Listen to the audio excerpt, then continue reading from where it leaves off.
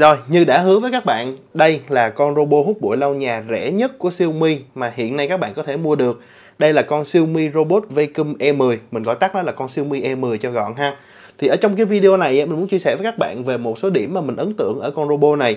Tuy là mức giá của nó là rẻ nhất hiện nay trong cái thế giới robot hút bụi của Xiaomi nhưng mà nó vẫn mang lại cho các bạn một số cái giá trị mà mình nghĩ là với những cái tình huống sử dụng rất là cơ bản á, thì con này là đủ dùng.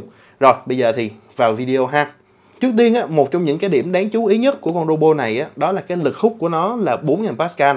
Thì ở cái phân khúc đâu đó khoảng chừng 5-6 triệu của con robot này á, thì đa số những con robot khác các bạn chỉ có thể tìm được nó chỉ từ 2 cho tới 3.000 Pascal là cao lắm rồi. Vậy mà con này lực hút tối đa của nó có thể lên được 4.000 Pascal. Thì với cái lực hút này là dư sức dọn dẹp cho nhà của Việt Nam mình ha, dù là sàn gạch hay sàn gỗ hay thậm chí là nhà bạn có thảm nó cũng có chơi được luôn mà lưu ý là bình thường hút thì có khi nó sẽ không có dùng tới 4.000 Pascal đâu. Đây chỉ là cái mức lực hút tối đa thôi. Theo cái thử nghiệm của mình và theo cái kinh nghiệm của mình, thì lực hút đó đó khoảng chừng 2.000 mấy 3.000 là đã đủ dùng rồi. Nếu các bạn tăng lên 4.000 đôi khi nó ồn lắm. Tại vì nhà mình đâu có tới mức mà dơ như kiểu công xưởng này nọ đâu các bạn. Cho nên là các bạn chỉ cần để mức độ mặt định là ok. Rồi, cái điểm thứ hai mà các bạn nhìn vô các bạn sẽ thắc mắc ngay lập tức luôn. Đó là, ủa, con Xiaomi E10 này nó không có cái cái cái chóp gì u lên hả? Đúng rồi các bạn đối với lại những con robot hút bụi á, ví dụ ha, những con như là Xiaomi S10 hay là S10 Plus hay là X10 Plus mà mình tưởng cho các bạn coi á, thì tụi nó đều có một cái radar lidar nó u lên một cục như thế này nè. Thì cái radar đó trong lúc hoạt động á, nó sẽ xoay để mà nó quét bản đồ và giúp cho robot điều hướng tốt hơn. Thì con này là một con giá rẻ mà, cho nên là nó không có được tính năng đó. Nó chỉ có một số cái cảm biến ở phía trước này nè, để nó điều hướng thôi. Vậy thì nó có đáng mua hay không? Thực ra ở cái tầm giá của con này á, là từ 5 cho tới 6 triệu á, thì đa số robot á, nó cũng không có cảm biến lidar. Nó vẫn đi được nha các bạn và thậm chí là đi tốt luôn á nó vẫn có thể cover được toàn bộ nhà các bạn. Chỉ có điều á là thời gian mà nó quét bản đồ và thời gian mà nó di chuyển á, nó sẽ lâu hơn. Khi mà mình thử nghiệm thực tế con Xiaomi E10 này trong nhà mình để nó đi được dọn cho cái nhà mình á thì nó cần đâu đó khoảng chừng 70 phút trong khi đó những con robot có LiDAR thì nó chỉ cần đó đó khoảng chừng 45, 50 hay lâu lắm là 60 phút là nó hoàn thành rồi. Thì đây là một trong những điểm mà mình nghĩ là hoàn toàn có thể chấp nhận được để đánh đổi khi mà cái mức giá của con E10 này nó quá rẻ như là những gì mà các bạn có thể mua được ở thời điểm này. Mình muốn chia sẻ với các bạn chút xíu về thiết kế của con Xiaomi E10 thì các bạn thấy là nó giống con Xiaomi Mob trước đây không? Cái, cũng là cái phiên bản cơ bản đó, cũng là một cái thiết kế rất là đẹp ha. Đơn giản, không có quá nhiều chi tiết cầu kỳ, rồi có những cái điểm nhấn màu cam rất là Xiaomi thì thật ra đây chính là cái phiên bản nâng cấp của con Xiaomi móc ngày xưa đó các bạn.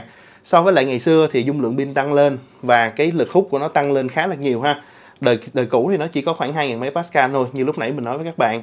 Rồi, bây giờ về tính năng dọn dẹp á, thì con Xiaomi E10 này, nó vẫn có tính năng hút bụi ha, và nó vẫn có tính năng lau nhà cho các bạn. Và cái tính năng lau nhà này thì nó có một cái bơm điện bên trong như vậy thì các bạn có thể điều chỉnh được cái độ ướt của dẻ luôn. Ngày xưa á, ví dụ như là mấy con của Xiaomi đời 1 đời 2 á thì các bạn không có chỉnh được cái độ ướt của dẻ nhưng mà từ con mop và bây giờ là con Xiaomi E10 này thì các bạn đã điều chỉnh được rồi ha. Tùy theo ý thích của các bạn mà các bạn có thể lựa chọn.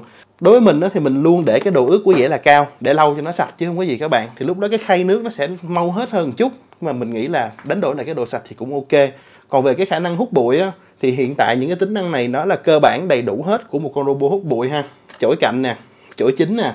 Và các bạn để ý là nó cũng có đầy đủ hết tất cả những cái cảm biến cơ bản của một con robot. Cảm biến va chạm nè, cảm biến chống rơi cầu thang chạy dọc xung quanh nè. Rồi những cái cảm biến để mà lúc nó hoạt động, nó biết là nó có đang bị treo bánh xe hay không thì mấy cái đó rất là cơ bản rồi. Mọi con robot hiện nay đều có và con Xiaomi E10 nó cũng có đầy đủ luôn khi mà mình sử dụng thực tế thì mình cũng để ý là con Xiaomi E10 nó cũng sẽ có xu hướng là nó đụng vào những cái vật trên đường đi của nó nhiều hơn so với lại những con robot mà có cảm biến lidar.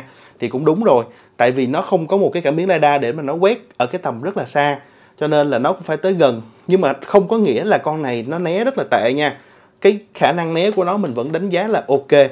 Nếu như mà sàn nhà của các bạn á, các bạn dọn dẹp tương đối là gọn gàng thì không có vấn đề gì đâu nó không thể nào né được những thứ ví dụ như là phân vật nuôi hay là cáp sạc. Mấy cái đó là quá nhỏ và quá thấp so với lại cái khả năng quét của nó. Cho nên á mình vẫn khuyên các bạn là các bạn nhớ dọn dẹp cái sàn nhà của mình nó tương đối trống một chút và đừng có để dây điện nó lồng thòng ra ngoài ha. Tại lúc mà con robot đi qua thì có thể là nó sẽ bị kẹt hay là nó lôi cái cục sạc hay là nó lôi cái dây điện của các bạn đi thì nó hơi phiền. Khi mà các bạn xài con Xiaomi E10 á, thì các bạn sẽ add nó vào cái app Mi Home là cái app mà các bạn có thể dùng chung với lại toàn bộ những cái món khác của hệ sinh thái nhà thông minh Xiaomi. Thì đối với lại con Xiaomi E10 á, nó có đầy đủ hết những cái tính năng. Ví dụ như là xem bản đồ nè, các bạn có thể chỉnh được lực hút nè, các bạn có thể chỉnh được độ ướt của dẻ nè, các bạn có thể hẹn giờ để nó làm việc nè. Tuy nhiên á, mình coi trên app thì mình không thấy là nó có tạo được cái vùng cấm đi hay là tường ảo hay không.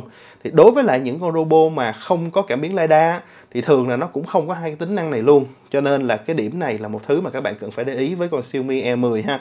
Nếu như nhà các bạn có những cái vùng mà các bạn không muốn nó đi vào, thì lúc đó nếu mà các bạn xài con Xiaomi E10 thì các bạn nhớ đóng cái cửa để nó không đi. Ví dụ như nó không đi vô toilet hay là nó không đi ra ngoài hành lang.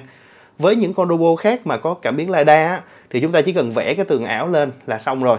Đối với lại những gì mà nó có thể làm được thì nó đã giúp cho các bạn đỡ được cái khâu phải lau nhà mỗi ngày rồi thậm chí đối với lại cái cách mà nó lau nhà thì một, hai ngày các bạn lau tay lại một lần cũng được, không nhất thiết là phải lau mỗi ngày ha. Hoặc là bạn nào lười, có khi cả tuần lau cũng được. Cơ bản là chỉ với khoảng 5 cho tới 6 triệu thôi, kèm theo những cái chương trình khuyến mãi của Xiaomi, mình có để cái link ở bên dưới phần mô tả, các bạn có thể xem.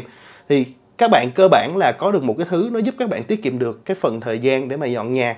Thì thời gian đó các bạn dành để làm những việc khác vui hơn, hữu ích hơn. Rồi, đó là những cái mình muốn chia sẻ với các bạn ha về mức giá thì mình cũng cảm thấy là nó đang rất là ổn rồi. Không thể nào đòi hỏi nó quá nhiều như là những con hai mươi mấy, ba chục triệu mà mình hay làm review cho các bạn coi được. Mức giá nào thì mình phải expect cái tính năng của nó đúng theo cái tầm thôi ha. Rồi, cảm ơn các bạn rất là nhiều. Xin chào và hẹn gặp lại. Sắp tới mình sẽ có một cái video cuối cùng. Mình tổng hợp toàn bộ cái series robot hút bụi mà Xiaomi mới ra để khi mà các bạn lựa chọn các bạn có thể biết rõ hơn là với cái máy nào thì dùng cho những mục đích như thế nào? Nhớ đón xem cái video đó của mình ha. Xin chào và hẹn gặp lại. Bye bye.